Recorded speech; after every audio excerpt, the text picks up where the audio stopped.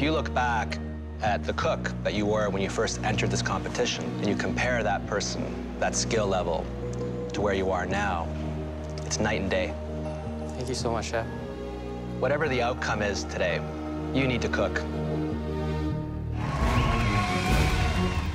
Marida and Eric, well done.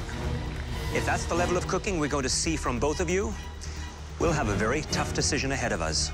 Marida, what is your entree? I'm gonna do black cod steamed in taro leaves with a pigeon pea puree. Wow. And Eric, what are you gonna be making? I'm gonna be making homemade egg noodles with a lobster sauce. It's time to get started on your entrees. You'll have just 60 minutes to make us the best main course you've ever made in your entire life. The cooking time for your entree starts now! One of my family's favorite dishes, but I'm gonna put an Asian spin on it today because I'm trying to keep it with an Asian theme. I'm gonna use uh, guitarra and make egg noodles. This dish is Trinidadian and Canadian meat. So I've got the black cod, and I've got some pigeon peas. I love fish, and I love it with fresh mango and cucumber chutney.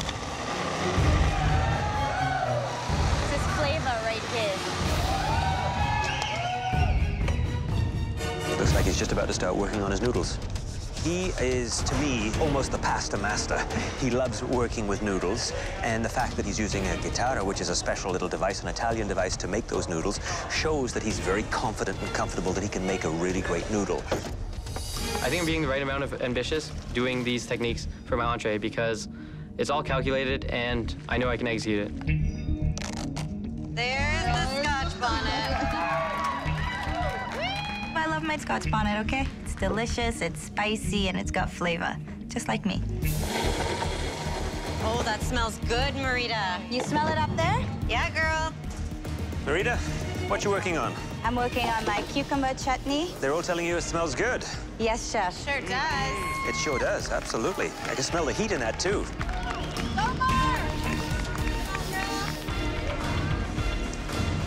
It's got a good solid base. Looking great, Marida. Have you worked with black cod before? The good thing about the black cod, it is kind of forgiving. It's going to be I'm not so nice sure about that myself. Because it is a white fish that is very flaky and become overcooked very quickly. And when it's overcooked, it is dry. And nobody wants to eat a dry piece of fish. Keep it nice and moist. Thank you. I have to make sure I cook that cod perfectly, or else I'm done like dinner.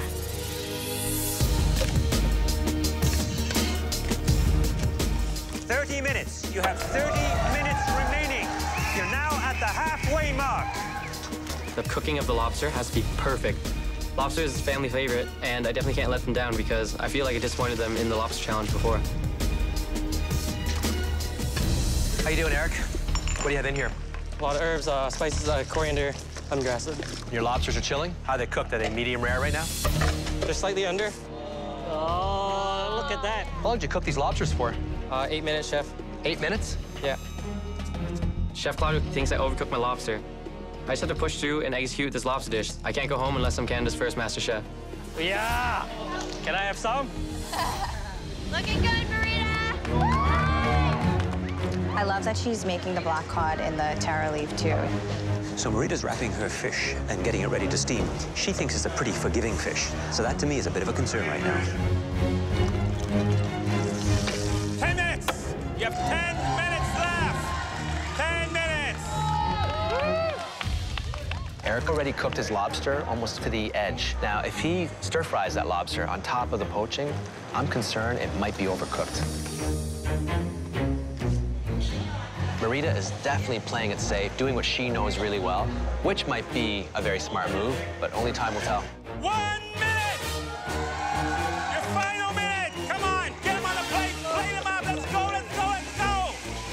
happy to get a real wok and just cook some Asian food. I'm back in my element stir frying these noodles.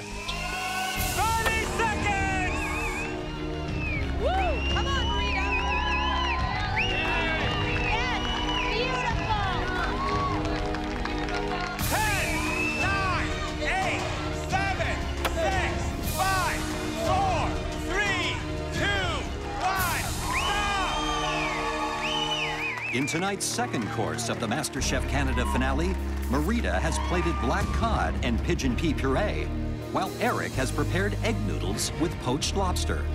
Let's find out if they taste as good as they look. Please bring them to the banquet room. I hope they brought their passports because we're going to Trinidad with this meal. The lobster has to be perfect because I overcooked it last time. If I overcook it again, then what kind of redemption is that? Eric, please bring up your entree. It's uh, homemade egg noodles with uh, lobster sauce, aromatic spices, and then lime segments.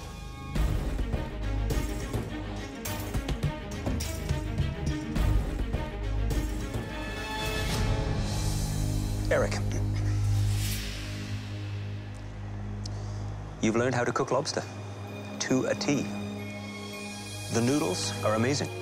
The sauce, not too creamy and over-the-top rich, but is subtle with flavor. It's a fine dish that I'd serve in a fine restaurant. Certainly one of mine. Thank you. It's impressive. Eric, by using the Guitarra, you have the perfect, what we call the Shanghainese noodles. You know, you got that nice, smoky, burnt flavor. Here is when you're mixing East and the West together, and you do it right. Very, very smart. Thank you, chef. If you look back at the cook that you were when you first entered this competition, and you compare that person, that skill level, to where you are now, it's night and day. Thank you so much, chef. Whatever the outcome is today, you need to cook. I am really nervous. He's getting a lot of positive feedback. Marida, please bring up your entree.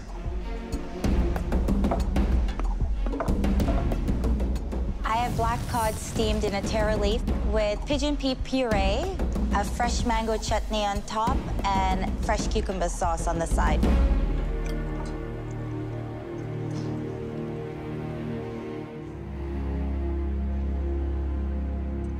Marida, the pigeon pea puree, very nice. The tomato, sweet, concentrated, very strong flavor. The mango, bit of sugar you added to remove a little bit of the acidity.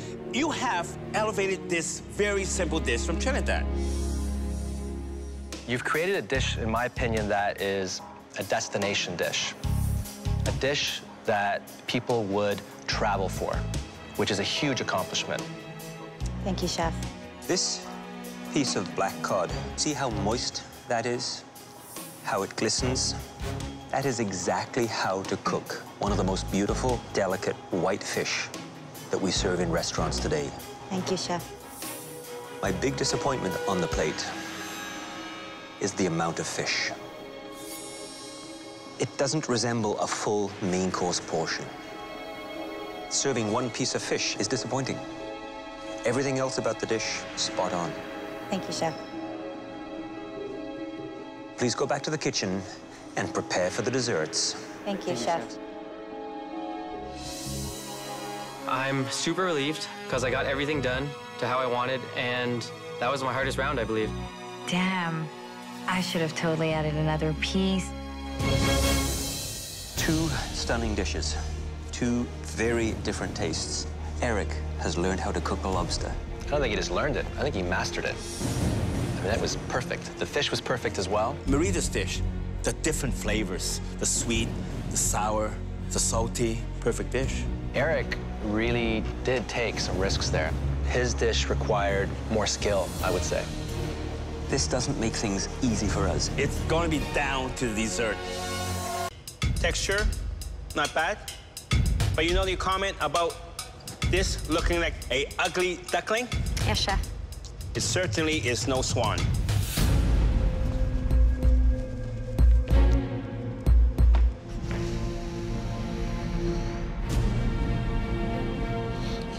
What happened? What caused this? Time management. Wow. That is raw. 15 minutes. Oh my God, Kaila. Dale and Kaila is still messing around, wrapping their fish. It's only 15 minutes left. What am I doing? Confidence. Yep, it's going in the oven now. It just looks awkward. Keep an eye on your salmon that's in the oven. The single most difficult challenge is the cooking of that fish because you can't see it, can't touch it. It's encased in pastry. Is it browning? Very little. Danielle's salmon Wellington is beautiful. You have two minutes left. Final two minutes. Dale, just leave it to the last 10 seconds. It's not enough time. How much time do we have? One minute, one minute. Come on, Julie.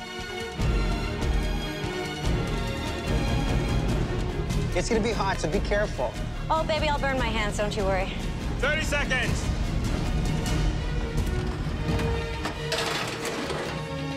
Fifteen seconds. Dale, what, what are you thinking? A puff pastry is not even cooked, and you're setting it on top of wet sauce? 10, 9, 8, 7, Last five seconds, I go to squirt the sauce on top of the Wellington. 3, 2, 1. Heads up! Good job. Way to finish it. Way to come back, Danielle. Fuck. It looks like a big sauce turd. Fuck, fuck, fuck, fuck, fuck, fuck, fuck, fuck, fuck, fuck. Fuck. I'm going home. Kick everyone else's ass. It's time to taste your salmon Wellingtons. Please bring them all down to the front. At this point, I'm only feeling about 60% confident that I have any chance in this competition.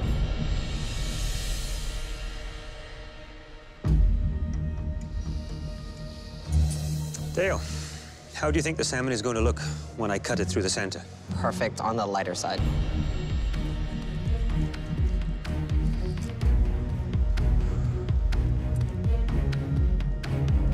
Seems to be perfect on the lighter side.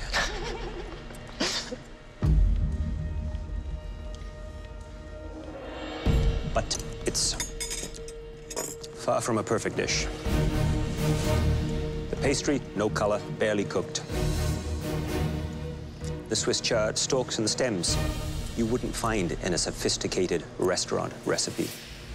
Okay, chef.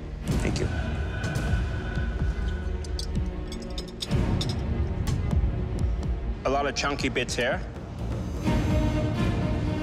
Rawish or light salmon on the raw side.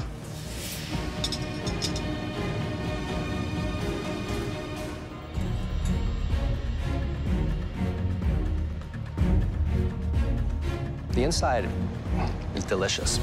Thank you, chef. The bad part, though, is the pastry's raw. It's a real shame. Danielle, you seem very confident. All things considered, I'm ecstatic that this is what I managed to get out. Let's see if it tastes as good as it looks. Look at that. Salmon cooked to perfection.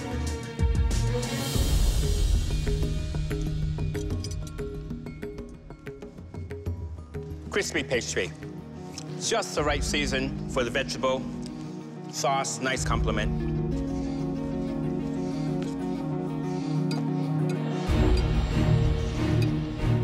I don't know how you managed to do something so beautiful like that in an hour. I've never made a Wellington before, but I cook with fish a lot and I cook with pastry a lot, so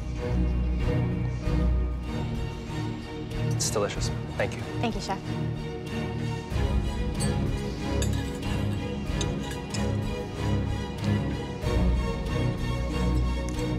Say you've cooked a lot with fish Yes, and a lot with pastry. yes. Well, today you cooked a lot with passion, and it shows. Well done.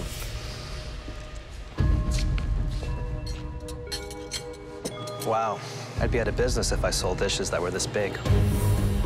It's massive.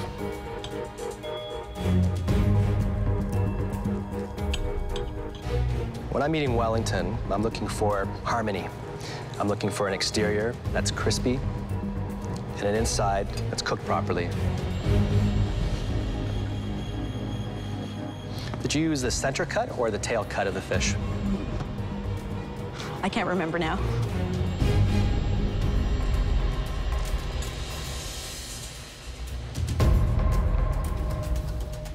The seasoning is just, it's spot on. Thank you. Very nice. Good job, Julie. Good job, Julie.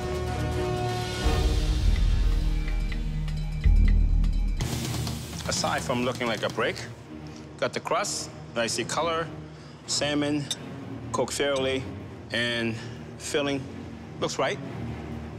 The proportion, I think it's just a little bit off, causing it to be a little bit dry. I still like it.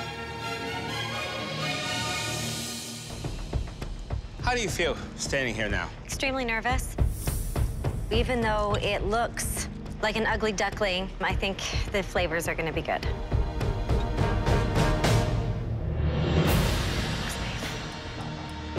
Salmon looks very nice. But that's looks. Taste is more important, right? Absolutely.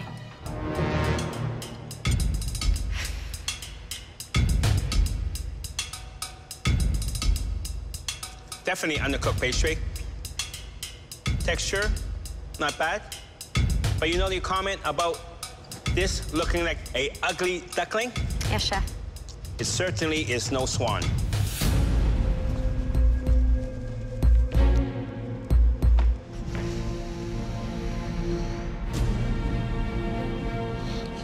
What happened? What caused this? Time management. Wow. That is raw.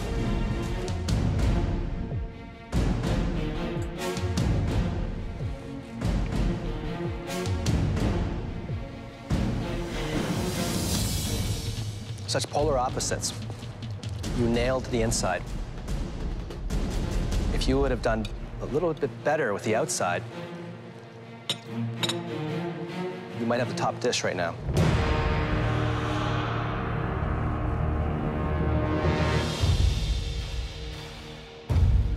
That was truly an incredible pressure test. You all cooked valiantly, some more successfully than others. We need a moment to discuss who'll be going home.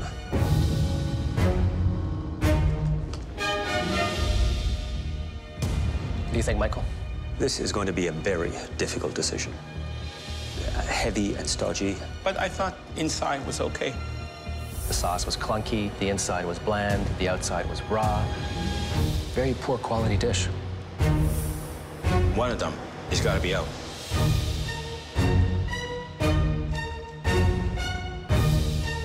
Please step forward. Danielle.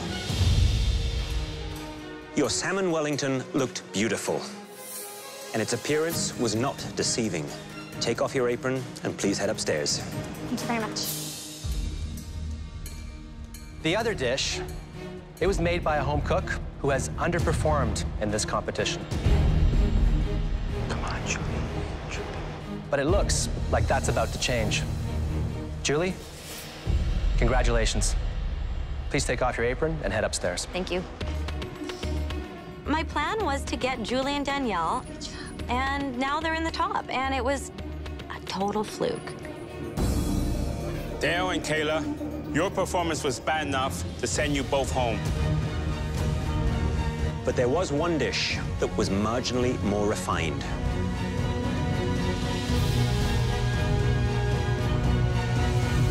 Please step forward. Dale. I'm sorry, that dish did not belong to you. Kaila, you're safe. Thank you. Please remove your apron and head up to the gallery. Thank you. Wow. She dodged another one. Dale, we're excited to see where life takes you. Please make sure it involves food. It will. Because you are one fine cook. Come up here and shake hands. Congratulations. eh? You did a great job. Should be very proud. Good luck. Thank you.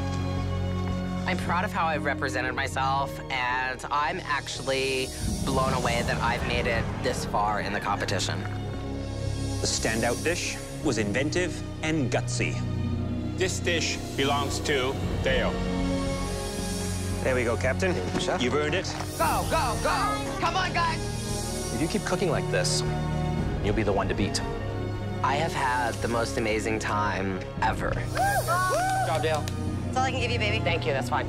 The experiences I've got to go through and the places I've got to see has been a once in a lifetime experience. And I would do it all over again if I could.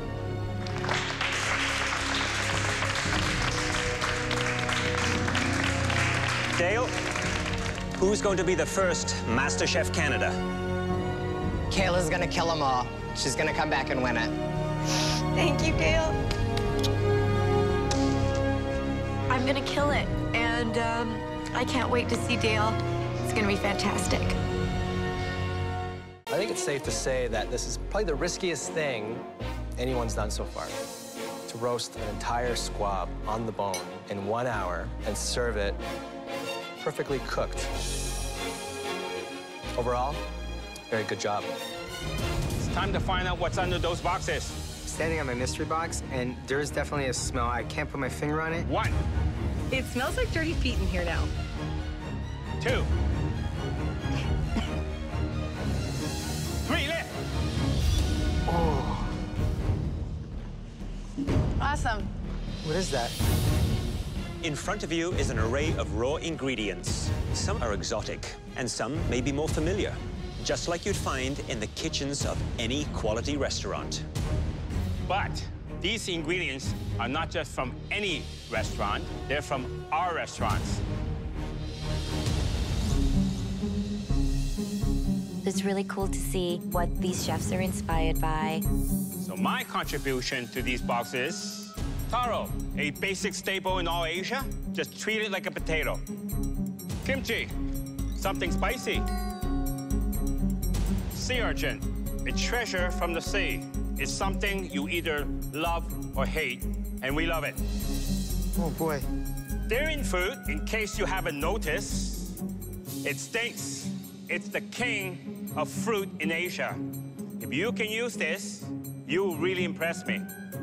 Definitely gonna use a durian. Doesn't matter how much I hate it. I want to impress Chef Alvin. My restaurants feature the best seasonal ingredients from across the country. Yellowfoot chanterelle, found East Coast and West Coast. Cipollini onions, delicious sweet Italian onions. Quinoa, very healthy grain. Mostarda, a classic Italian fruit mustard from northern Italy. Squab, deliciously gamey. And just in case you didn't know, it's pigeon. I've eaten almost all these ingredients, except for the pickled cherry mustard thing. I've given you monkfish, a robust fish that uh, can handle a lot of different flavors. White miso, fermented soybean, which is wonderful in soups and in dressings. And pork belly. You have 60 minutes to make us a restaurant quality dish we'd be proud to serve. I hope we don't have to use all the ingredients. I'd be in trouble. Your 60 minutes starts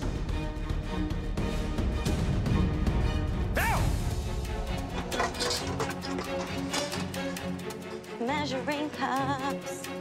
I'm either gonna work with the pork belly or the monkfish. I haven't really decided yet. Maybe some fried onions. I don't really know. No clue what I'm doing. Just throwing stuff in a pot. This is my favorite challenge so far because this takes a lot of uh, creativity, innovation to be able to create something that's going to impress us. A lot of these home cook is really going to be intimidated by all these ingredients. Oh, for me, my advice: simplify it. Create a balanced dish. I would take the pork belly, marinate that in with the white miso and the durian. The dish I'm making is a stuffed squab with a uh, roast of cipollini onions. I'm totally gonna butcher him, and he's gonna be looking pretty in about two minutes. I'm thinking about stuffing and roasting it. I'm not going to be able to do that in an hour. The pitfall with using the squab, it is very, very lean. You need to build on those flavors of that squab. It's got a mild gaminess to it, but the overcooking is the key for them. I am going to make pigeon soup or pigeon broth with some uh, Asian style noodles and some mushrooms. I'm going to be making a butter and pork basted monkfish with a sea urchin velouté. Now, the pitfalls of monkfish is that if you overcook it, it gets very rubbery. So I would give it a really great sear on top, roast it in the oven, baste it with lots of butter, some herbs. And if you overcook that fish, it's over. 30 minutes. You have 30 minutes to impress us with our ingredients. Hey, Carly, what are you making? Mushroom and onion stuffed flatbread. And then I'm gonna um, miso poach the um, monkfish Why is it there? because I put it in too early, How much time do you think this is going to take to cook? That's a little rare in the middle, like six to eight minutes. probably closer to five. Uh, I can give you any advice, Okay, that's the star of the show, not the flatbread, all right? Good, good luck. thank you. Rita, so tell me what you're cooking. Monkfish, What are the flavors in the pot? mostly Asian inspired. I've got that garlic, the ponzu, a little bit of fish sauce, some miso. I even put in a piece of that kimchi in there for that spice. And you have an idea how it's all going to come together on the plate? It's in my head. Sounds like you've got a lot going on. I definitely do. Eric, what are you doing? I'm gonna be pan-searing some monkfish. This is a durian sauce that I made for the fish. That's actually quite salty. Yeah, how are you thinking that? Uh, it was just the jam and some of fermented bean.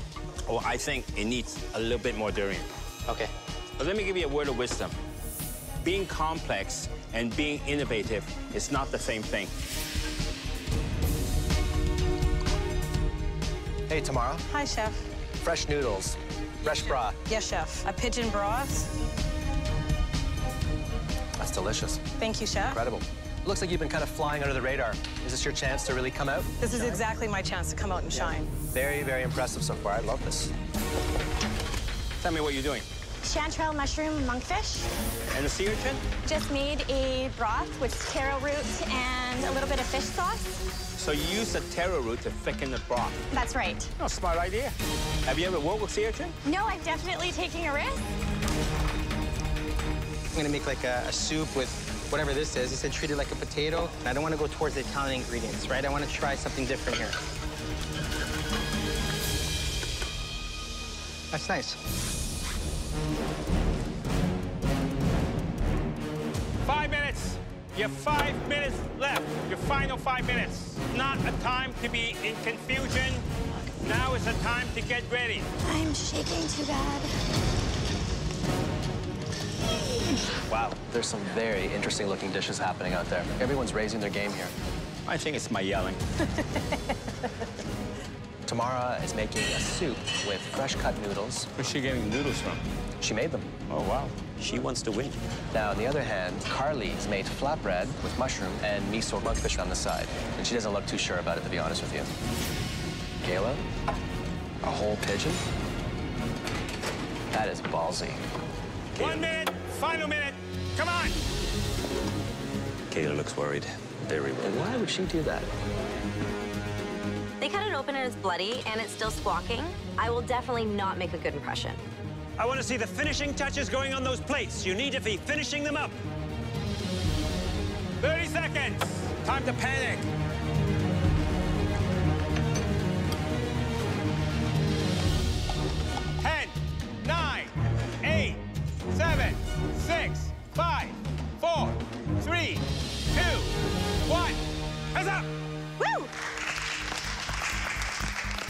After observing and tasting throughout the challenge, the judges will now take one final look before selecting the most promising dishes. I'm pretty confident. I think I'm going to be called up for sure. We asked you to make us a delicious dish with some superb and perhaps unfamiliar ingredients from our restaurants. There were some dishes that particularly impressed us.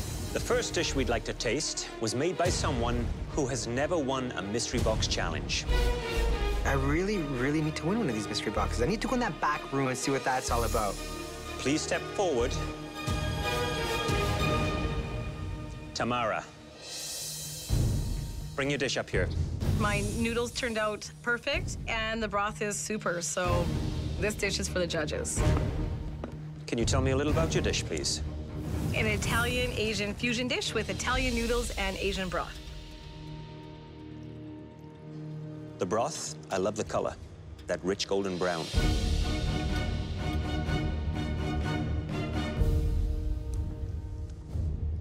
It's amazing. Thank you, Chef. If I would change one thing on this dish, I would look for a little of that pigeon meat nestled under the noodles or in between that just popped out every once in a while. Very nicely done. Thank you. Looks very nice.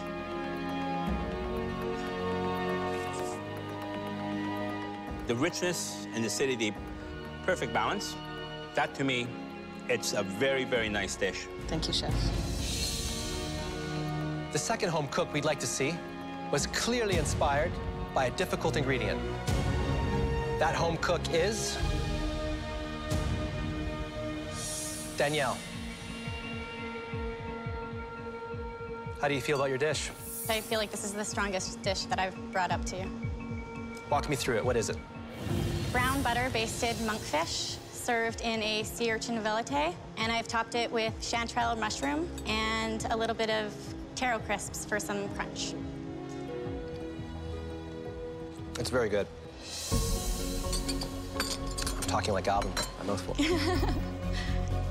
I like the acidity. The fish is cooked properly. It's a great dish. It's good to see you coming to the top now. Thank you very much. Thank you. Good job. The next person we like to call forward is no stranger to the top spot. Please step forward. Marida.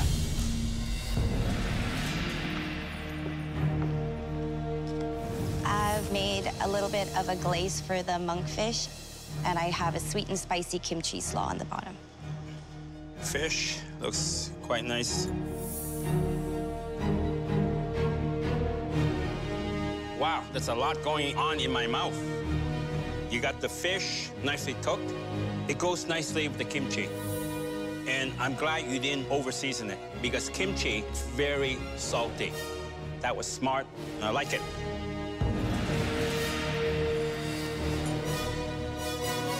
It's good to see you thinking outside the box, and your repertoire is growing.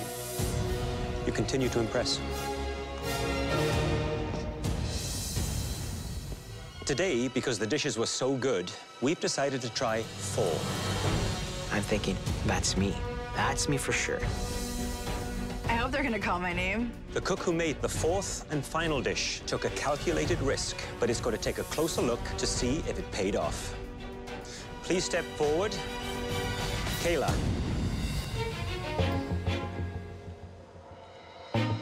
So I did a whole roasted squab, and then I made a jus with the pan drippings from the squab. What I'm most interested in is if the pigeon is cooked medium to medium rare. Well, let's see.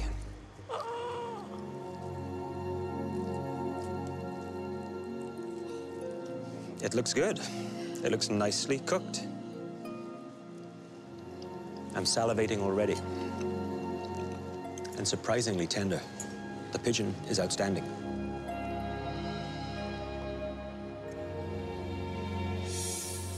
I think it's safe to say that this is probably the riskiest thing anyone's done so far. To roast an entire squab on the bone in one hour and serve it perfectly cooked. Overall, very good job.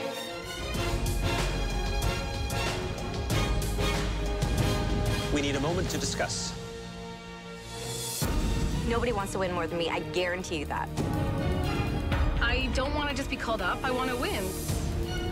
Fantastic dishes, something that I would serve at various restaurants. All four did an incredible job. This is going to be a tough one.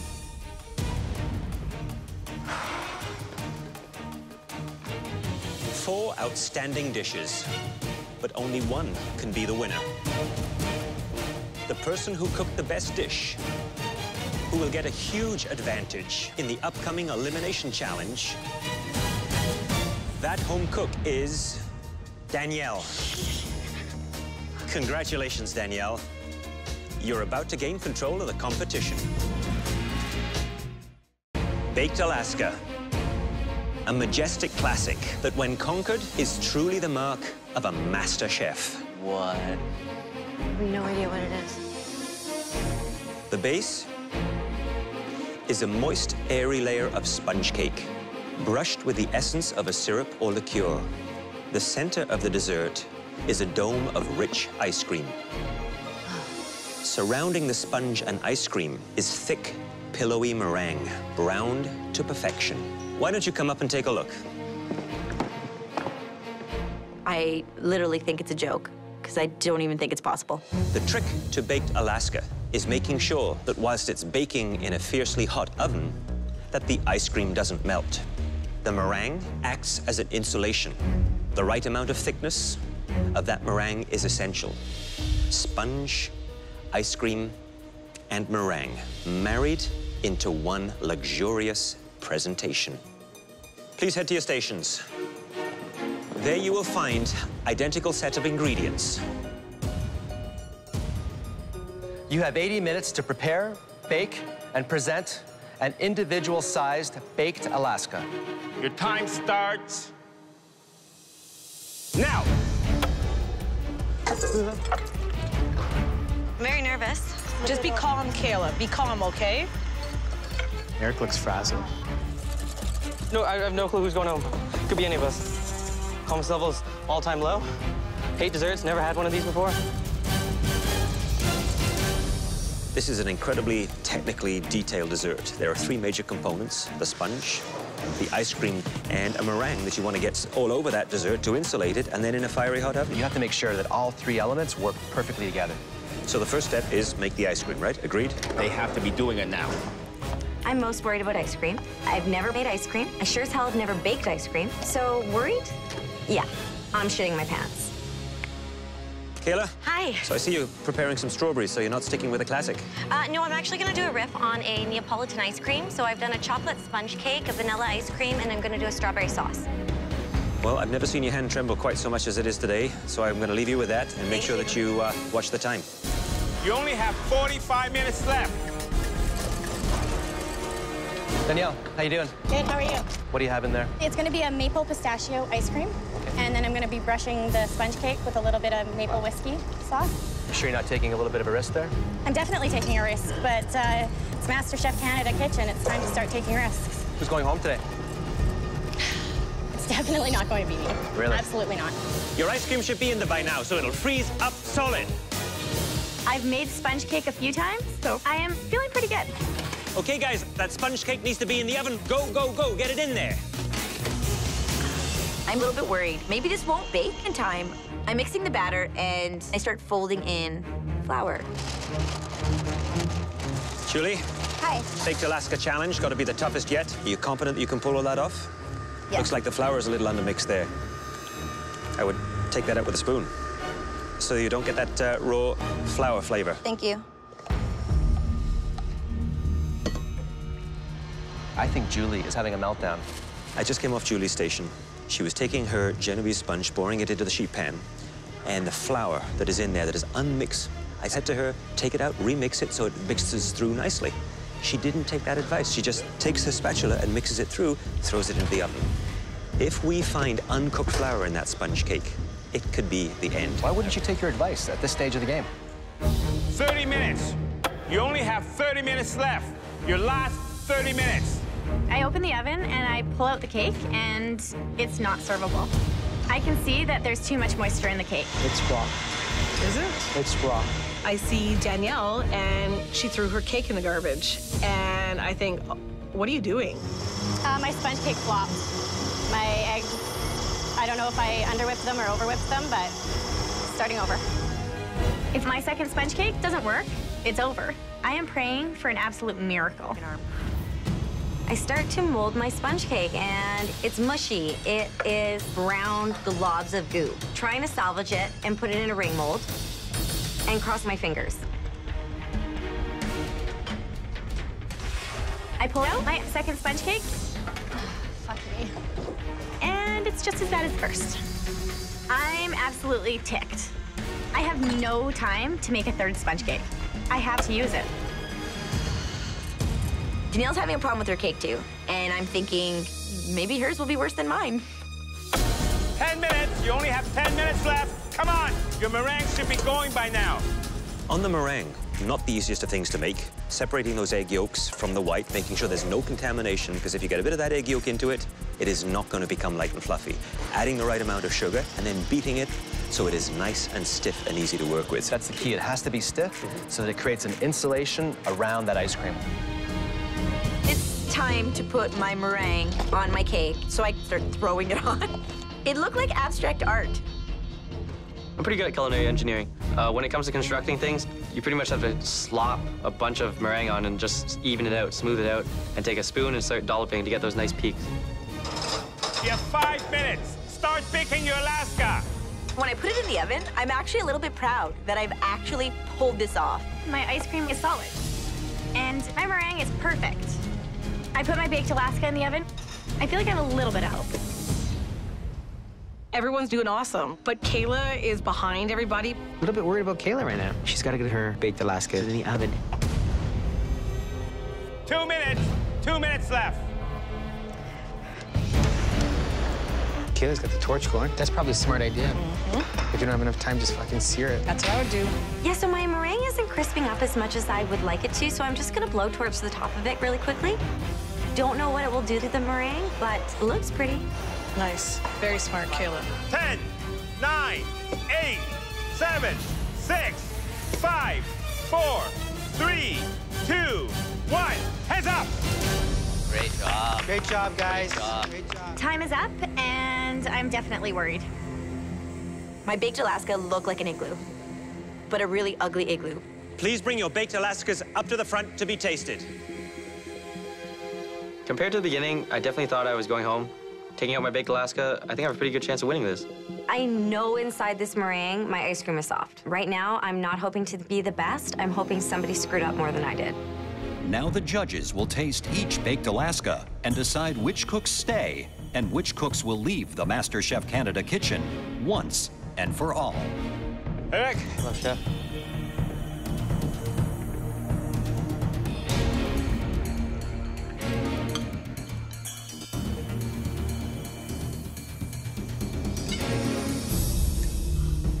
I tell ya, cuts beautifully. Sponge, nice and fluffy. Meringue, nicely crisp.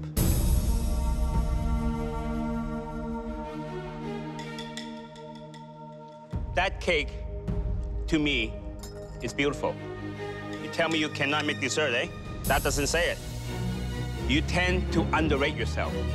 Sometimes you have to pat yourself on the back. Hey, chef. Eric. Chef.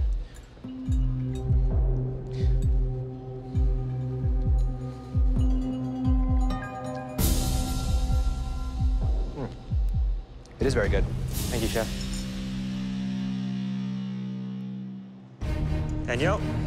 Chef, this is a maple pistachio baked Alaska.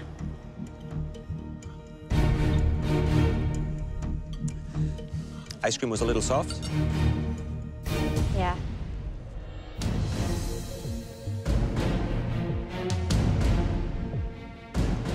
The sponge is a little disappointing.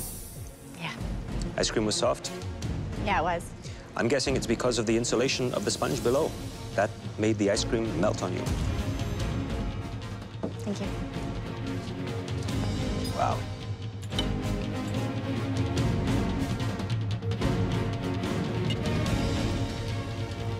Not your finest work. Definitely not. I want this bad. I do not want to go home on a stupid dessert. This is intense, man. Hi, Julie. Hi. You think you honored a classic? I did. Some nice layers happening here. Sponge cake, right in the bottom. It looks a little grainy. Hmm. Did you incorporate all the flour? I tried to. Because it looks like there's raw flour in here. Wow, I've never seen a baked Alaska with raw flour. That might be very costly for you. Yes, I know that. Julie, Hi. looks like the loading of the meringue got a little carried away there, huh? Yeah. Good success on the ice cream, though, by the looks of it.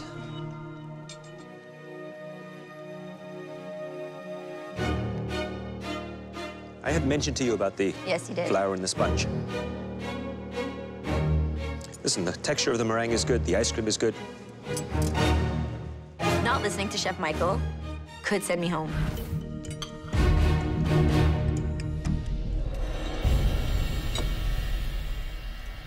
Nice three layers.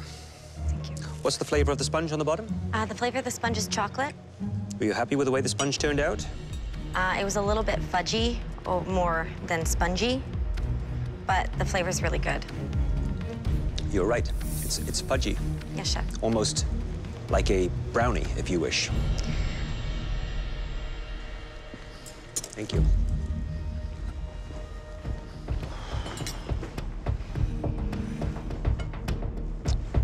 I saw you using a blowtorch. Where did you learn that trick from? I just wanted to get a little bit darker. I thought it would be a good idea. Well, what's a good idea? Definitely got it darker. It's different.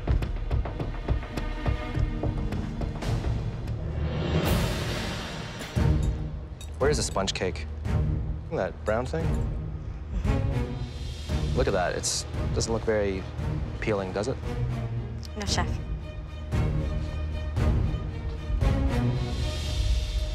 Flavor's nice. Took some risks here. And unfortunately, some of them don't pay off too well. Yes, chef.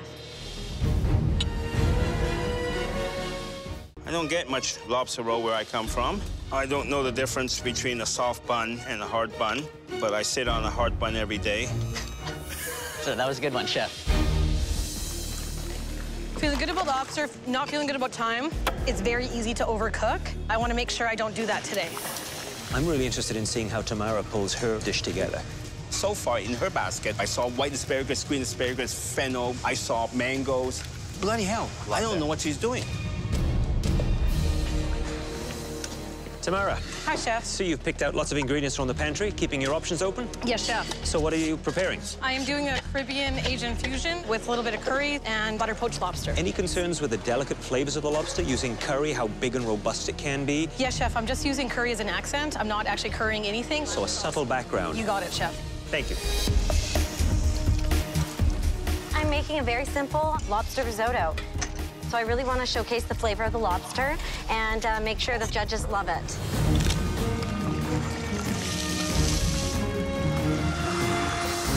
Eric. Hello, chef. What you doing? Poaching the lobster in butter? I'm cooking a lobster risotto. Anything in there in terms of aromatics? I'm gonna put most of the aromatics in my stock. So you're gonna make a quick stock? You think you'll have enough time? Uh, Because that flavor of that lobster is key to success. It better be good. Yes, chef.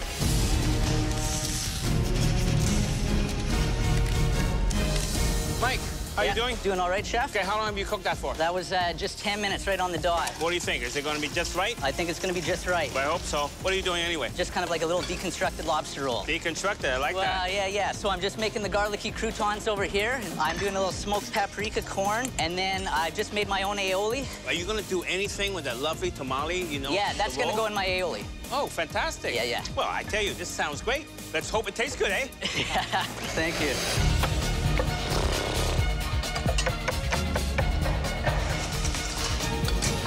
Julie, hi. So what other flavors are you going to be putting into the dish? There's gonna be bacon, corn. And we'll be able to taste the flavors of the lobster through all of that? Mm, no idea. And are you removing the meat from the shell afterwards, or are you serving it in the shell? I'm gonna try and do the knuckles out of the shell if I can get the milk. The knuckles and the claws, the sweetest part. I've never done this before, so I'm gonna try. Good luck. Oh my god.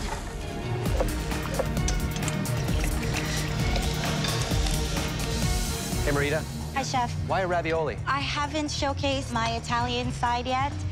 That's an ambitious dish. It's a big risk you're taking. What do you have in here? That's my filling. What's inside of here? Fresh herbs, parsley, chives, a little bit of ricotta, lemon zest, lemon juice, salt, and pepper. It tastes a lobster. Very nice. Good luck. Thank you, chef. I don't even know which way to put this in. This way? Mm. We'll say that's right. No idea. I'm feeling really good about my stock. The lobster flavor is definitely coming through. As long as time is on my side, I have a good chance of being up there today. Fingers crossed. Pino, Chef, what are you doing? I'm making a lobster risotto, chef. Do you realize you have two other risotto that we're going to compare it with? What's in there? That's just veggie stock, chef. Is that your normal recipe? Usually, if I had time, I'd make stock out of the lobster shell. I'd But make why pick a risotto when you know you don't have time to make a proper stock? Well, I'm gonna actually add some lobster inside my risotto right before it's cooked.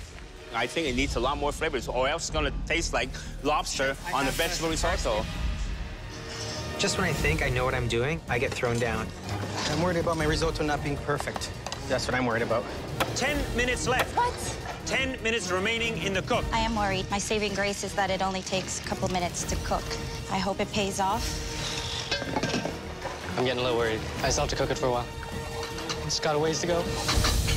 I'm shocked. Three risottos. I think Pino's in trouble. He's cooking risotto with a vegetable stock. You should fully utilize all the lobster, all the flavors. That's what Eric has done. He's got all the shells, the Yes. innards from the head, which are your favorite part. Yeah. And I think he's going to do quite well in it. Well, Mike is being more innovative. He's doing the construction, something that's not so boring. Maybe he can pull it off. I can't think of a better time than being in the top seven to step it up. Five minutes. Perfect. If I'm having a hard time, so is everybody else, because I know I move a lot faster than everybody.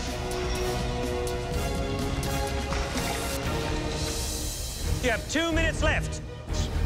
What do I crack this thing with? Julie's just starting to peel her lobster. See that? Michael said the knuckles are the sweetest part of the lobster, but they are really, really difficult to get out. I don't think she knows how to remove it off the shell. It's harder when you're shaking. This is like panic mode. One minute. One minute left. Come on, guys. Push, push, push. I'm running out of time. Can get the knuckles out. I'm not sure what the judges are going to say about this. Yeah, my risotto's done. I should be able to pull this off. Come on, plate. Dig deep. You can do this. Almost there. Ten seconds left. Nine, eight, seven, six, five, four, three, two, one. Hands up. Stop cooking. That was tough. The judges will take a final look at the home cook's dishes and select the three most promising to taste.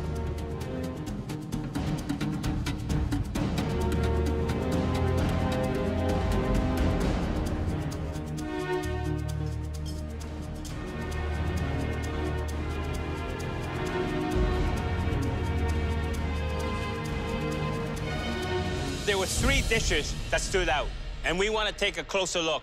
One of these cook will get a huge advantage in the upcoming elimination challenge. The first dish demonstrates that sometimes simple is best. What's more simple than like lobster aioli and garlic toast? The lobster was the star ingredient My lobster was cooked perfectly. Right now, I'm holding double aces. and seems to be perfectly cooked. I have two claws, cooked to perfection. My dish looks stunning. Please step forward. Mike. I think of all the home cooks here, Mike has the biggest knowledge of food. He could definitely be a big threat. It's just a little take on a lobster roll. Garlicky crostini underneath. The lobster was simply boiled in salty water. I've got some smoked paprika corn and just a bit of sauteed capers. And then there's an aioli made with the tomalley.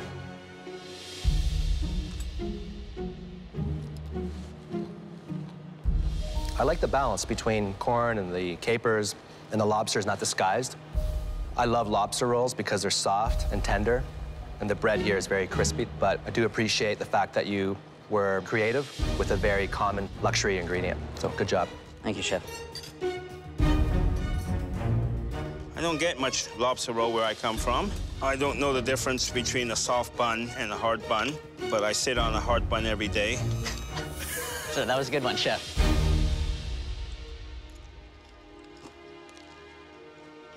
Fantastic, very nice. The lobster, that's done to perfection. And of course, the tomalley gives it that extra crustacean, that extra flavor. Very, very tasty one. All right. Thank you, Chef. Top seven, and they're loving this dish. I feel pretty good. The next dish that we want to see is also on the light and simple side. I've got my fingers crossed that mine will stand out. I think they're talking about me. Please step forward. Tamara.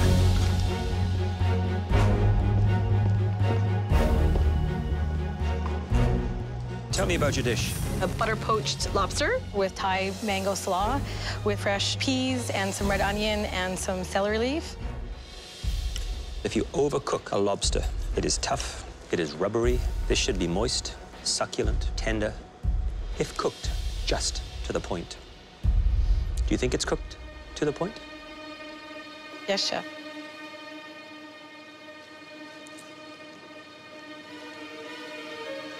It doesn't. disappointing. Thank you, Chef. The mango, the pink grapefruit, the shredded sugar snap peas, crisp, citrus, refreshing. Simple, but very tasty. Thank you, Chef.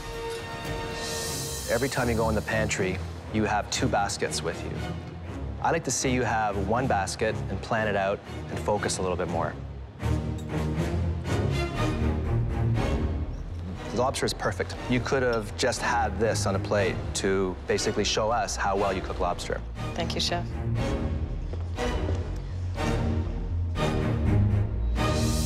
Four of you decided to go Italian on your lobster today. I definitely want these judges to taste and know that I can cook more than Asian food. One of those dishes stood out. Come on. I really think this is one of my best dishes. I'm hoping they see that I took a risk.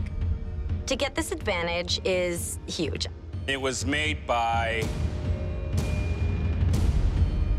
Eric. Nothing against Eric, but I really wanted to be called up there. I use the body and the shells to make my stock, and I only use the tail, claw, and knuckle meat in my risotto. There's some cremini mushrooms, Parmesan cheese. The rice, I think, has all the characteristics of an outstanding risotto. You used the shells and increased the flavors by various aromatics. You can taste a lobster in it, and that's the key with risotto. Very good. How does that look to you? Slightly overcooked, chef. I would say slightly overcooked. I tried butter poaching it for the first time, chef. Okay. It's Okay. a bad mistake. But I must say the risotto is perfect and it's delicious. Very nice. Thank you, chef. Please give us a moment to discuss. Amazingly cooked lobster. It added that crisp texture. I would agree. Congrats, Tamara. Yeah, right. Congrats, Mike.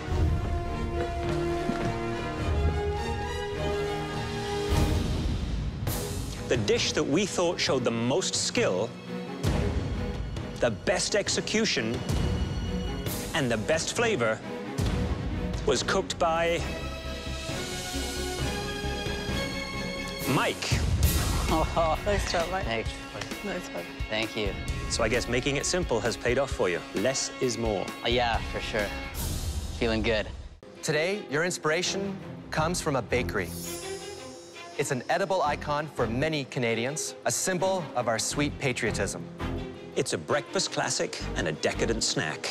And we'll show you 12 good reasons why it deserves to be the star of this pressure test.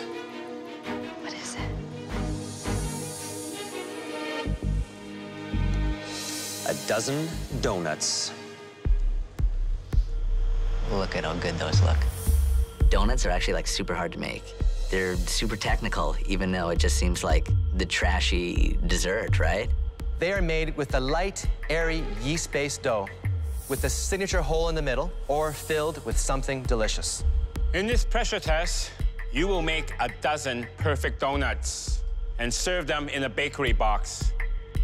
Your box must include at least three different types of donuts. Who's gonna fly too close to the sun and make four? Eric. We want to see donuts that are perfectly risen, delicately fried, and finished with different glazes of your own invention. Oh. All the ingredients you require will be waiting for you at your stations. You will also have access to a specialty pantry where you can choose the ingredients that will flavor your donut fillings and glazes. You'll be given 60 minutes. Use your time wisely. I'm definitely terrified that it's donuts. I really, really hate baking. Chef. First pressure test. How Yes, you chef. feeling? Under pressure. Under pressure. what are you gonna do? Chef, I'm gonna make a peanut butter and jelly donut inspired by the classic peanut butter and jelly sandwich. I'm gonna make a s'mores inspired donut, and I'm gonna make an Italian style donut. Classic, not very exotic. I'm taking the classics into considerations here and making something out of that, so that's imaginative, I believe. How confident are you? Scale one to 10. Seven, chef. Seven. It's enough to put me through, because my scale is uh, pretty high. Eric, walk me through your donuts. How many donuts are you making? I'm gonna do eight different kinds. Eight different kinds. Yeah.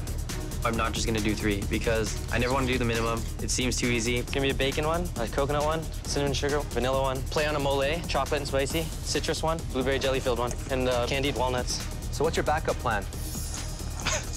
Eric's strategy, it's not even a strategy. You can already screw up three. Why would you screw up eight? Eight's good luck for a Chinese. Eight, though? Well, that concerns me. It should concern you, too. Is he doing like a creme anglaise too? Like what was he doing with the milk? I'm just doing a creme anglaise. 30 minutes up. You have 30 minutes left.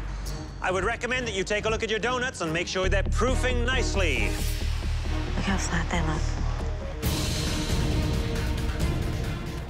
Let's make this work. My money right now is on Marida. I think Marida cooking her donuts now is a good strategy. Now she can then focus on just the toppings and the fillings only. Eric is doing eight different varieties. What? Eight? He doesn't think the pressure test is tough enough already with having to make three donuts? He's making it more difficult for himself. He's got a creme anglaise. He's got a blueberry sauce. He's got something burning. Yeah. I definitely could be going home today. It's really ambitious what I'm trying to do. If he pulls this off, I'm going to be incredibly surprised. I'm so excited to see Eric all over the place. He could help me move further in this competition if he messes up. One minute left. One minute. Start boxing your donuts. Eric's not going to make it. Think quick. Ten,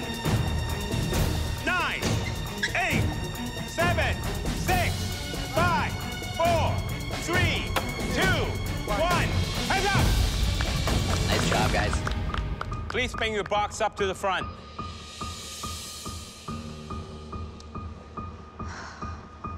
Okay, let's open this up. Wow. These look perfect. You're married to a policeman, right? okay.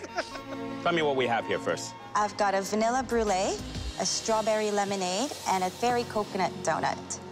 Let's do the coconut, because I love coconut.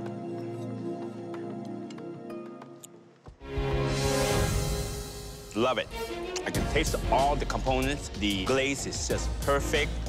That, to me, is a very coconut donut. Thank you, Chef. Marida, Hi, Chef. these look beautiful. Thank you, Chef. Little jewels in a box. Let me try the strawberry lemonade. Sounds wonderful.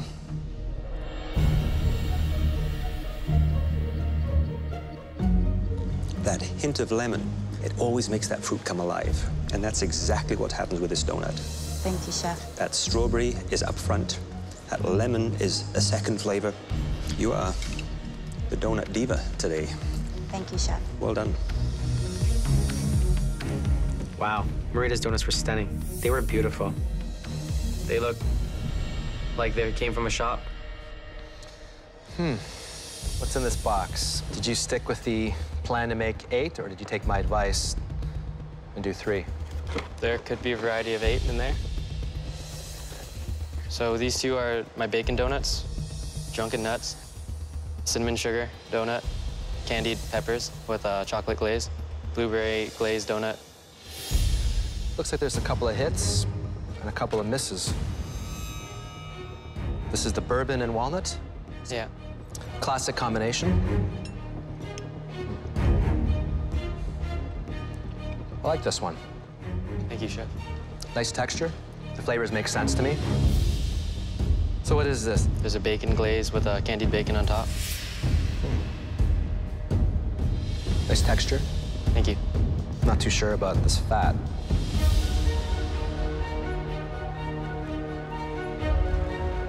Did you eat this? I did. You like it? I do. I don't.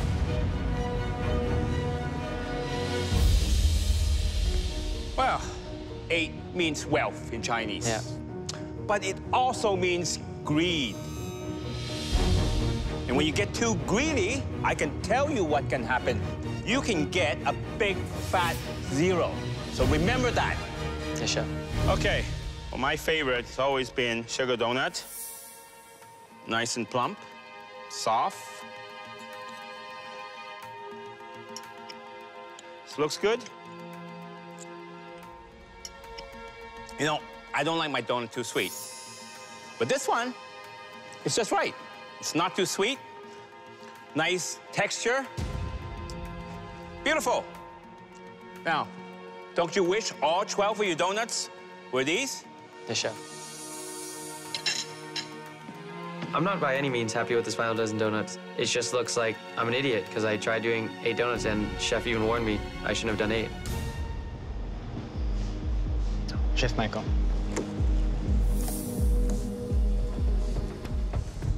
Well, at first glance, I notice how irregular they are. I find that a little disappointing that, you know, we've got a, a large one, a very small one. Yeah, chef, I wanted to have smaller and bigger donuts. Why would you want to do something like that? Well, sometimes you want two, because I know when I eat donuts, chef, I eat two or three. Really? These donuts should be the same size. Yes, chef. Tell me the flavors you have in your donuts, please. A cream-filled donut with sour cherry on top, chef. S'mores-inspired donut with graham crackers, chocolate ganache, and a marshmallow. This one here? Peanut butter and jam-inspired donut. No jam. Did I make it through? Are you sure you put jam in there? I'm positive, chef. It seemed like it went in there. Let's try again. I hope that one's better. There we go. You've got jam in this one. I do.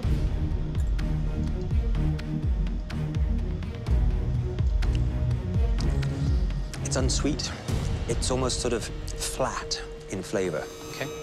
But I do feel that there's a little error in the dough, and I think something went a little awry here. That's fair, chef. Thank, Thank you. you.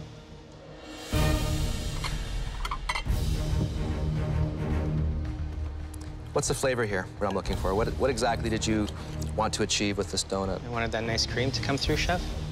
And I wanted to get a little bit of that sourness from the sour cherry on there, chef.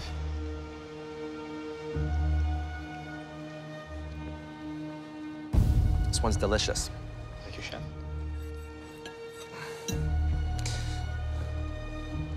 What happened with the yeast? It looks like it didn't didn't activate here. No. Try that.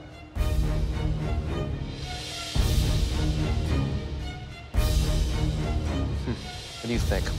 It's a little doughy. It's very dry. Thank you. It was a bad idea. I should have just made them all the same size. You all brought your best to this pressure test. But unfortunately, one of you will be leaving the MasterChef Canada kitchen. We need a moment to discuss. That was one of the worst donuts you've ever had, too. That's one of the worst ones I ever had.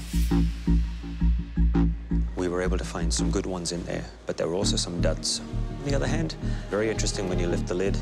Uh, you want to know what they are, but you wouldn't want to eat them all. Three dozen donuts, three very different outcomes. And one of those outcomes was so outstanding that it has secured this home cook a place in the top five.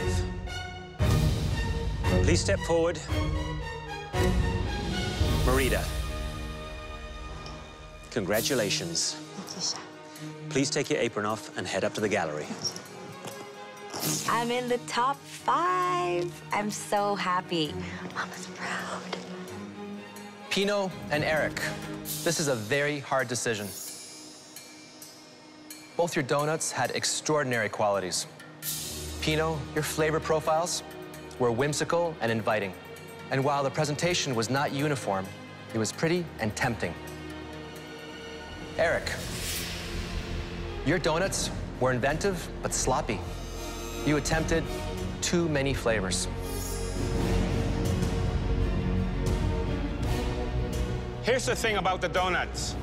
Food should always look good. But at the end of the day, most important thing is taste. And the donuts that tasted the best belong to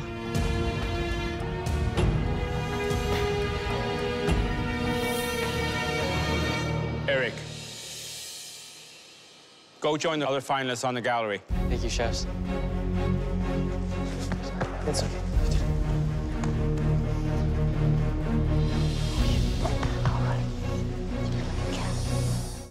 It's very thick. You could even pour the Béarnaise sauce out. It's not uh, Béarnaise sauce, it's Béarnaise mayonnaise. It would really suck if I just went home and disappointed my family. I hope it tastes better than it looks. Me too, chef. I am taking the biggest breath. I think I have a good chance to win this challenge.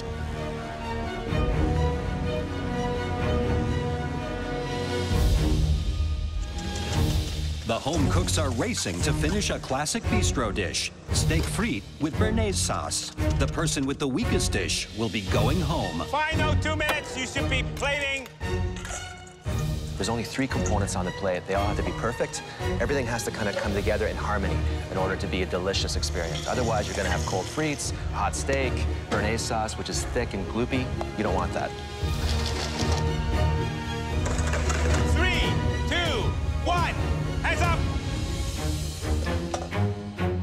Time's up, and I'm like, yes, got it all down. It was really close to get those fries down, but I'm actually feeling pretty good about it.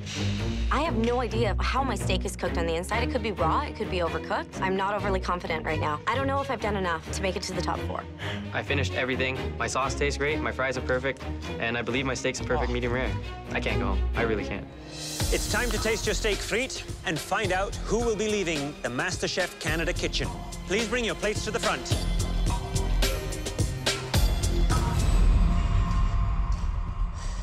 Kaila, we asked for a steak to be cooked perfect, medium rare. What am I going to see when I cut your steak open? Um, nice and crisp on the outside and a beautiful medium rare on the inside. You're confident of that? Never too confident. It certainly is a little darker on the outside than I might expect. Okay.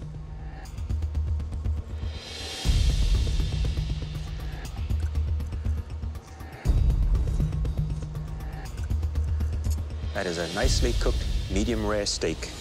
Yes. See it quite nicely. It's a little dark in some areas, which would lead me to believe maybe the pan was a little too hot. Yes, chef. But the cook is perfect medium rare. The difference of color from the searing from the outside edge to a richer, deeper pink as it moves to the center. Beautiful. Thank you, chef.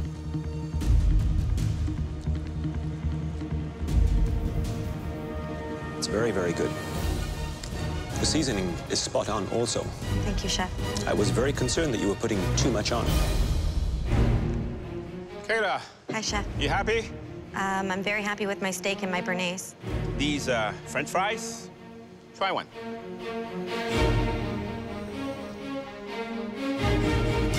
What do you think? I think they're cooked. I think they need more color on the outside, though. I definitely agree with you that it needs a lot more sun, I think. Looking at my fries, all I'm thinking is, where is my purse? I need my bronzer right now. These fries are pasty.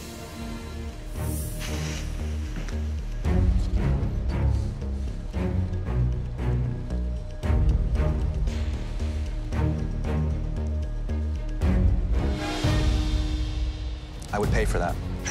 Thank you It's so much. delicious. It's well balanced, great acidity. How did you master a Béarnaise in one hour? You made it before? Uh, third time's a charm. Uh, this is my, my third time, but I, um, I, I eat a lot of it, so I know what it's supposed to taste like. It took me hundreds of times to master the basic, humble hollandaise sauce, which is the mother of this sauce. And you've done that three times. Thank you, chef. Had you nailed the fries, you'd probably have one of the best steak frites with Béarnaise that I've ever had. It's so close. Yes, chef. So, Eric, what am I going to see when I cut your steak open? Perfect medium rare, chef. That's pretty confident.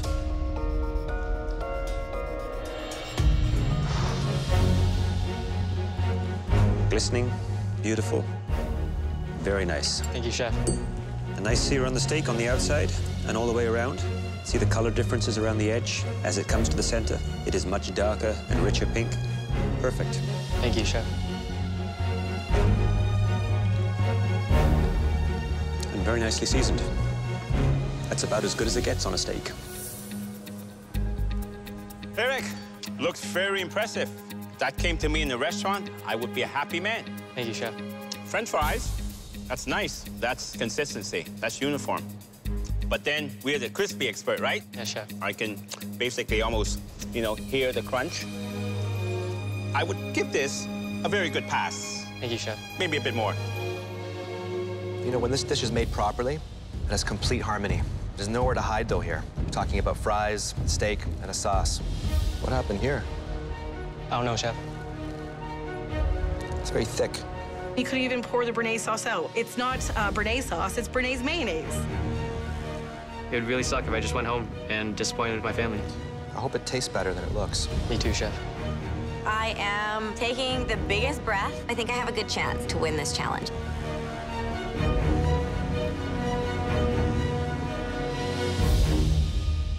At this point, I'm thinking my sauce could definitely send me home. Mike? Boy, hey, chef. We asked for steak to be cooked perfect, medium rare. Is that what I'm going to find when I cut into the steak? I sure hope so, chef.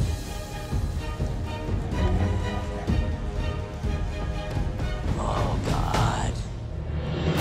It's blue. As soon as Michael cut into that, I'm like, I'm going home for sure. That is not medium rare. No. Mike's steak is still mooing. It's really tough, but Mike could be going home on a blue steak. Fuck. I just didn't get the sear I needed on it before it got in the oven there.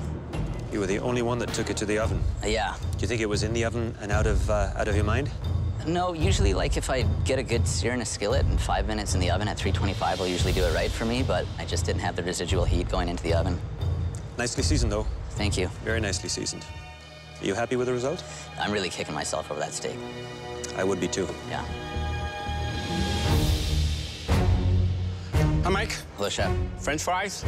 What do you think about them? Uh, there's a bit of a couple uneven cuts there, chef. It would have been nice if I had a moment to definitely pick out some of the a couple larger scragglers got in there.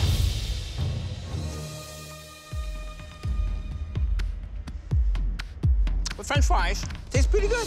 Crispy, soft, right consistency, nice size. Chef. How are you? Had better afternoons for sure. That blue steak, there's no excuse. That cow's still mooing. Wow. Yeah. You know, it's not a perfect medium rare, but it is a perfect rare, which is not a bad thing for some people who like rare meat. The Béarnaise now. Nice consistency. Thank you, chef. I like the shine to it. It's beautiful. This looks pretty textbook. I made a few Béarnaises in my time. Well, I like the way it coats the back of the spoon, which is one of the tests for all apprentices when they make a Béarnaise, and it coats it beautifully. How does it taste? Hmm. It's delicious. Thank you, chef. Everyone worked hard to deliver in this challenge. Unfortunately, we have to send at least one of you home. We need a moment to discuss. There's definitely some high points, but there's unfortunately a few a few low points there. You got one really bad steak. Yep. And one really bad French fry. And one really bad sauce. So, uh, Everyone had two to three elements perfectly done. Right now, I feel so sick. It's anyone's game at this point. It really is. Béarnaise is the most difficult Yeah. component Yeah. on that dish. Yeah, it was like wallpaper paste. Yeah. This is going to be Yeah, very tricky, guys. So we know what we have to do.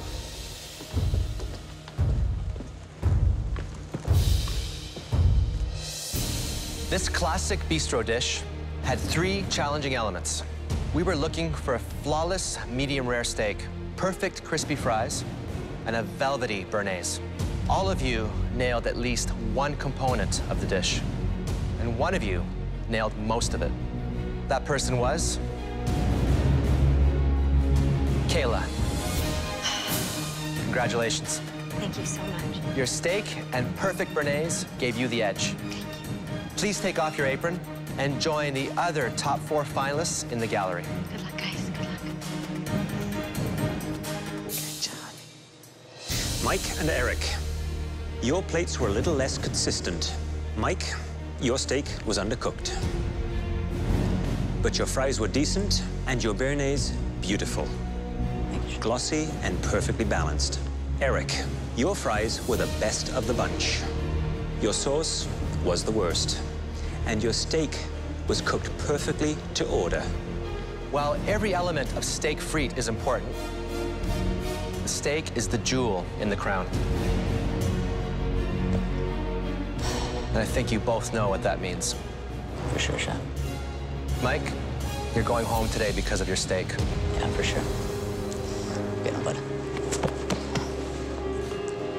Eric, head upstairs. You're a top four finalist of MasterChef Canada. Congratulations. Thank you, chefs. Feels good to make it this far, but top four still isn't enough. This mystery box is definitely a game changer. It's our biggest and most intimidating mystery box yet.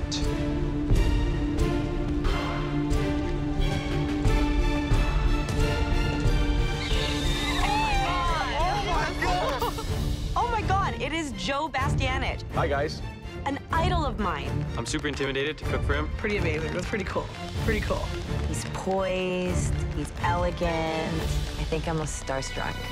For the toughest mystery box challenge yet, we've invited the toughest judge from MasterChef US.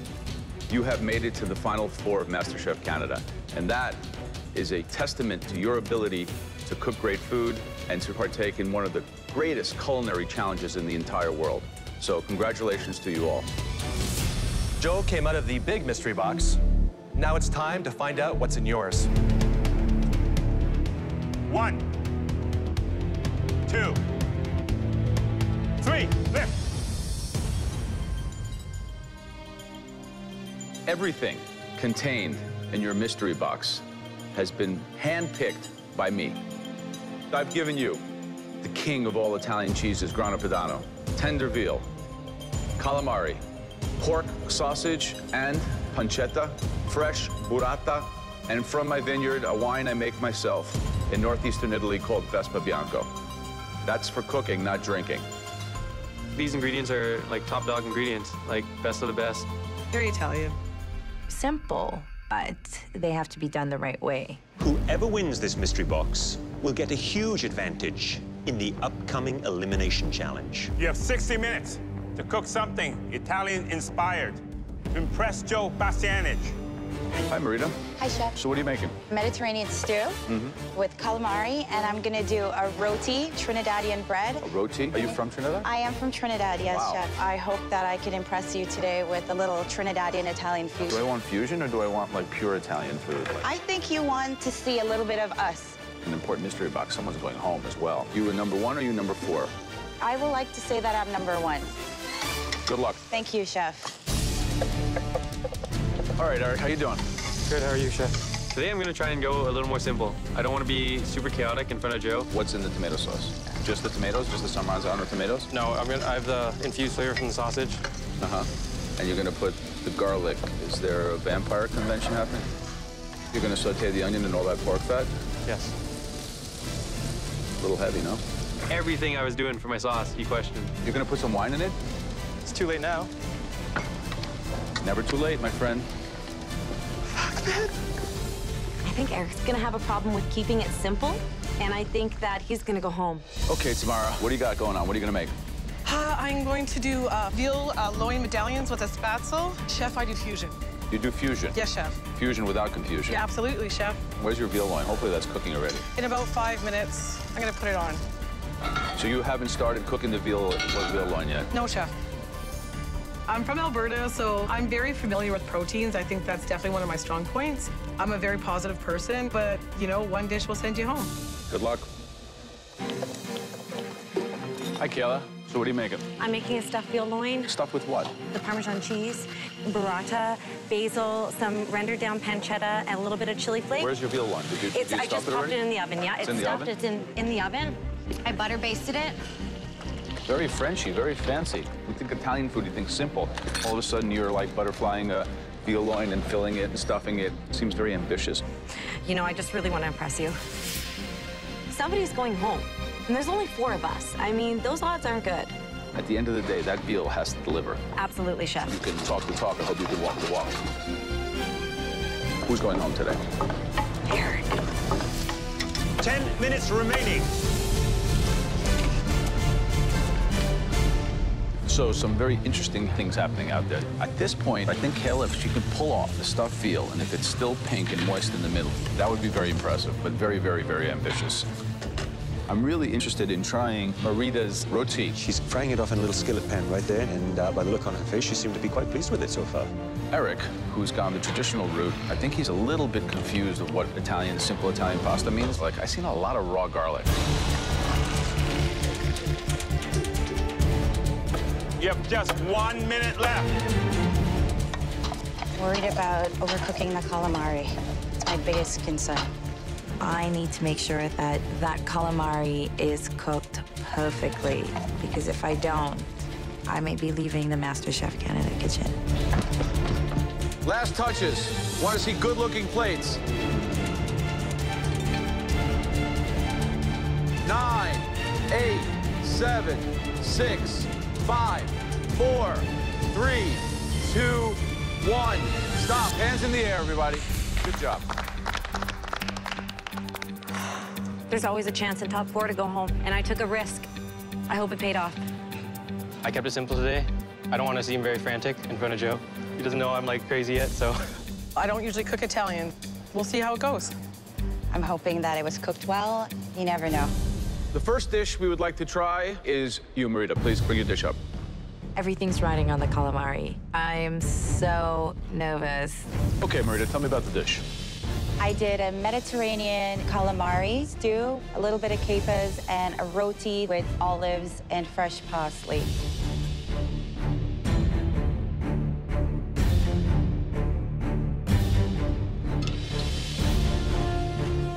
The calamari is cooked perfectly. Still very, very moist, very delicate. The tomato stew has very nice fresh flavors. You taste the olives, you taste the onions, you taste garlic, a lot of garlic for me. It's a very, very good expression of ingredients. And I think, quite frankly, it comes together really, really strong. Good job. Thank you. Oh, the dish looks beautiful. Thank you, Chef.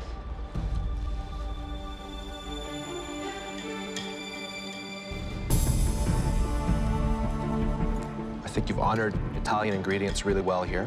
I like the fact that you added something that's from you, which is the roti. Very strong dish. Thank you. Thank you, Chef. I am so relieved that it's cooked right. Eric, please bring your dish up. Pasta and tomato sauce could seem too simple and underwhelming, and it could definitely send me home. Tell me about the dish. It's homemade fettuccine, sausage, hand-crushed tomato sauce, topped with basil. It's pretty simple, though. Did you want to stay simple, or were you trying to impress? Um, I usually overcomplicate things. Today, I thought I'd stick with clean flavors. It does kind of come together as a pasta dish. It has good flavor. Try it. What do you think? Say you were in my restaurant. What would you pay for that? $15. 15? $20. Are you overvaluing yourself? Uh, see what they say. I'm really happy this time you kept it simple. Yes, chef.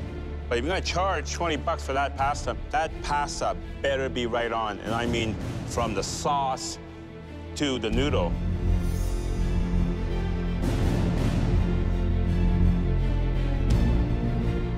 Texture, consistency, you hit it right on. I would say it's a very nice dish. Thank you. Kaila, could you please come with your dish? This dish could either shoot me up into top three, or it could send me home. Tell me about your dish. Stuffed veal loin with cheese, olive tapenade, crispy fried capers. Very tricky to get a stuffed veal loin perfect. How did you want to cook it? Medium rare, medium? Uh, medium. Medium. Medium. Yeah. Let's see. Not bad. It's a medium, true medium, so you nailed the temperature. You were able to get a nice seasoned crust on the outside. The filling, I take it or leave it. The pinkness of the veal in the center is spot on, and it's moist and tender and really quite flavorful. You think you made any mistakes here? The fact there's no starch anywhere to be found. I think that it was a risk, and I think if you conceptualize a dish correctly, you don't always need starch. You've nailed the cooking here. The color is perfect. It's rested, basted it properly. You think this dish is going to take you to the next level? I hope so, Chef. I don't want to be too confident, but I think I have impressed them. Okay, Tamara, would you please bring your dish up? Tamara, Tell me about it. Veal loin boiled and pan-fried, some spätzle, tomato uh, reduction, and a tomato salad. So what did you think of this challenge? I think it was a really tough challenge. I'm a bit creative, and I like to kind of go outside the box. And today I had to stay within the box. This is a very, very ambitious dish. Showing off a little bit here, right? Uh, no, I wanted to... You're not showing off? No, If I- you're not going to show off now, when, when are you going to show off? I'm a bit of a poker player. I wanted to do something that is going to set me apart from the rest of them. You have a perfectly cooked veal loin. Thank you. What is that with you Canadians? We know how to cook our meat. You know how to cook your meat. Yeah. What did you season it with? Just some salt and pepper. I think that this dish shows your ambition, but also at the same time shows a bit of your inexperience. hmm Thank you. You're welcome. I see the tomato salad, super simple, super straightforward, and super safe, which is a little unlike you. And then on the other side, it is far more gutsy and adventurous.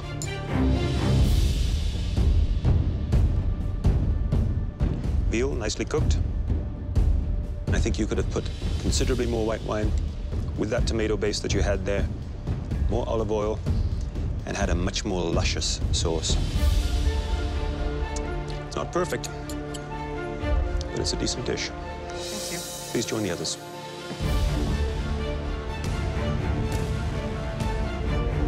We've tasted all your dishes, and now we need a moment to discuss. Everyone has a really good dish. I do not see a clear frontrunner. I think overall they, they honored Italian ingredients really, really well. Absolutely. I definitely wasn't expecting top four to become top three.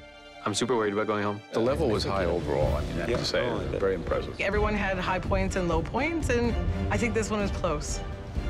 It was a little simplistic, right? You get that at a restaurant, you'd be very happy. Absolutely. That was fantastic. So, you know, Go break the news. Joe Bastianich will announce the winner of the Mystery Box Challenge, but it will be up to the judges to announce who is going home. Overall, I was extremely impressed the way that you Canadian home cooks handled my favorite Italian ingredients. The person who made the best dish in this last Mystery Box Challenge, who is about to become a top three finalist in MasterChef Canada, is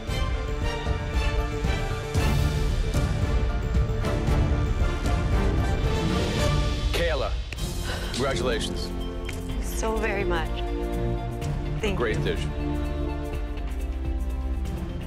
Joe, on behalf of everyone here at MasterChef Canada, we want to thank you for coming up here. Thank you. And helping us make this incredibly important decision. Thank you. Good luck to you, home cooks. Thank you so much for having me. Thanks a lot. My pleasure. May the best home cook win. Good night. Thank you.